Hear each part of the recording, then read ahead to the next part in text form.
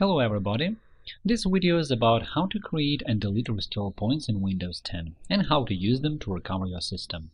With the help of restore points, you can recover Windows 10 system files as well as restore operability of the operating system, correct errors that suddenly appeared, or restore the system back to the condition at the time of creating the restore point. By default, Windows creates a new restore points when installing or uninstalling updates, drivers, or applications. In order to create a new restore point, right-click on the Start menu and go to Control Panel.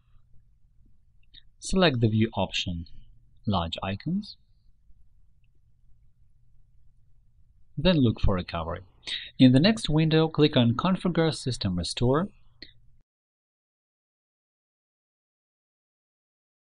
and click Create in the System Protection tab.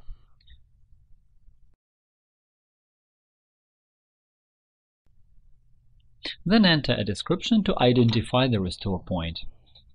The current date and time of creating a restore point are added automatically.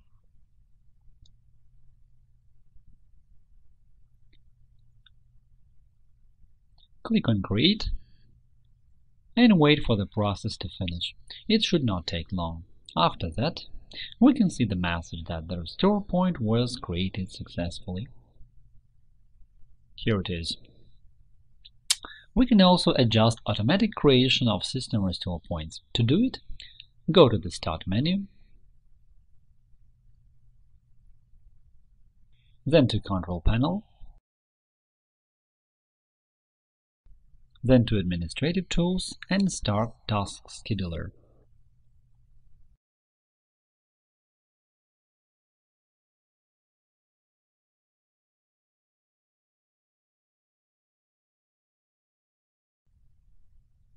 In the left window, select Task Scheduler Library, Microsoft, Windows,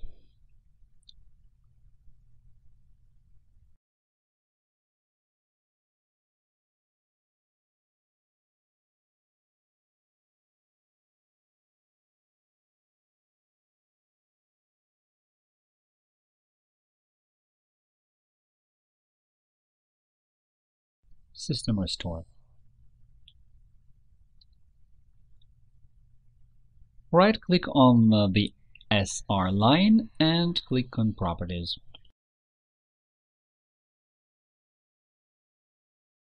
In the next window, open the tab Triggers and click New.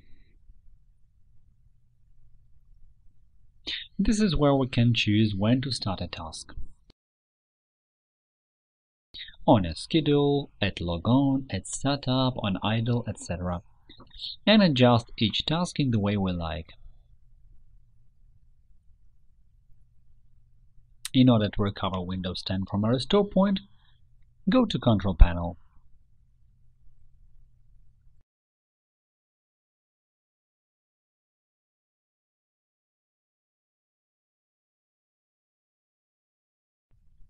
Find the element recovery. Click on Open System Restore and then Next. I'd like to note that recovering Windows from a restore point affects only system and software settings of the operating system. Using the restore point will delete all programs that have been installed after such restore point was created, and it will not recover files deleted before that. Select the necessary restore point from the list and click Next. Confirm that you want to start System Restore from this restore point and the process will start. If Windows won't boot, we can start System Recovery in the System Recovery environment. For this purpose, you can use a recovery disk, a boot disk, or a flash drive. Alternatively, after three incorrect attempts to start Windows, this environment will start automatically. In the recovery environment, click on Troubleshoot, Advanced Options, System Restore. After that, click on Next,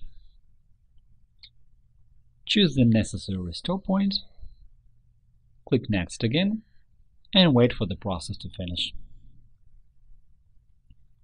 Another method is to recover the system from a restore point using the command prompt as an as administrator.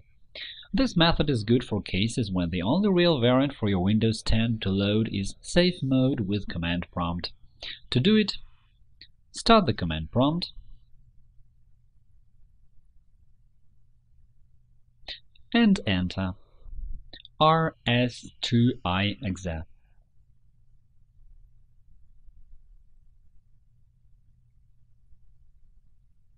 It will start the, graphic, the graphics interface of the recovery wizard. To delete restore points, we can use two variants. The first one is deleting all restore points, but the latest. To do it, right-click on the disk where restore points are saved.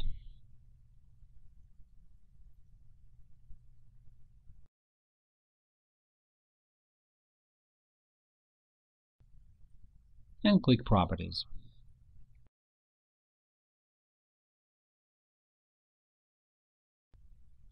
In the tab General, select Disk Cleanup.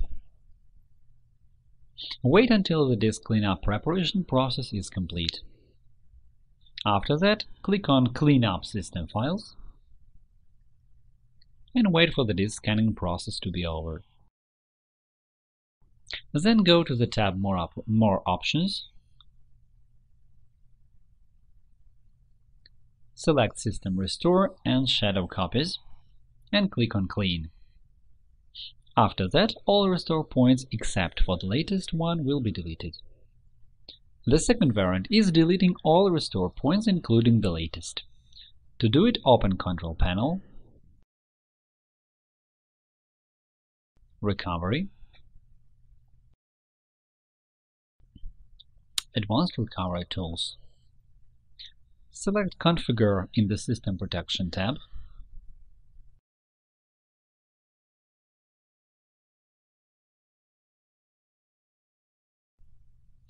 After that, click Delete